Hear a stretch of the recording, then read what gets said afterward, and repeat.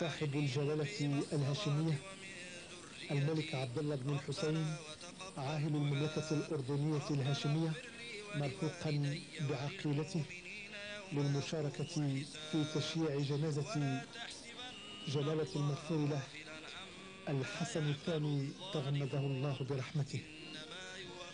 وقد أدت للأردن التحية تشكيلة من القوات الموجودة باسم الأردن والأهل صحيح حبينا نعزي الشعب المغربي.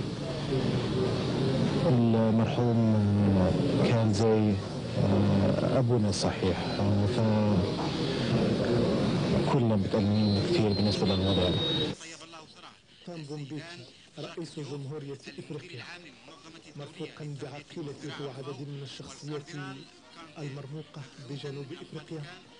حل هذا اليوم ببلادنا للمشاركة في مراسيم تشييع جنازة جلالة المغفور له الملك وأدت لفخامته التحية تشكيلة من الجنبي عدد من أعضاء الحكومة الجنبية وعدة شخصيات أخرى.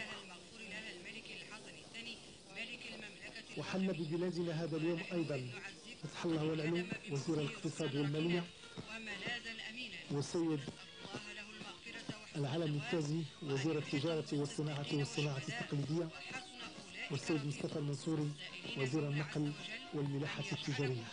إلى مطار الرباط سلا وصل مبعوث الرئيس السوري حافظ الأسد السيد رفعت الأسد للمشاركة في مراسيم تشييع جنازة المغفور ووزير التجهيز السيد بوعمر تغوان مطار محمد الخامس مساء هذا اليوم حيث وصل الرئيس الفلسطيني السيد ياسر عرفات.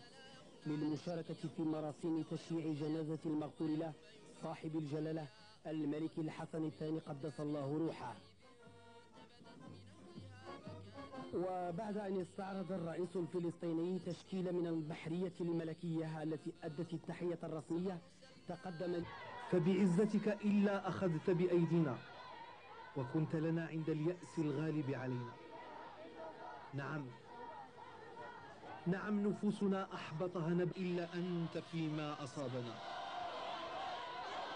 إننا نفقد نبعا لا ينضب من الحنان والعطف والعناية والرعاية.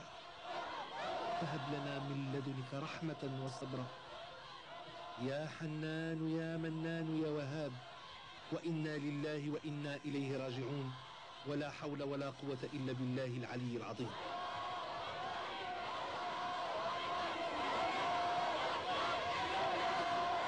إحنا الحمد لله كشباب. فهمتيني عشنا مع أولاد الستينات اننا عشنا معاه وشفنا بأنه أسس الأسس ديال الديمقراطية. الحمد لله إحنا اش غنقول لك؟ كل شيء كنشوفوا فيه بأن كل شيء خلاه علينا الحمد لله. أي حاجة كاينة في البلاد الديمقراطية كاينة المؤسسات ها هي متركزه الحمد لله.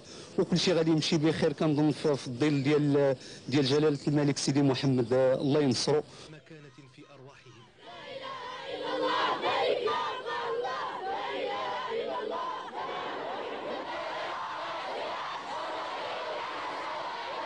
لقد هجر النوم جفون المغاربة جميعا. جفون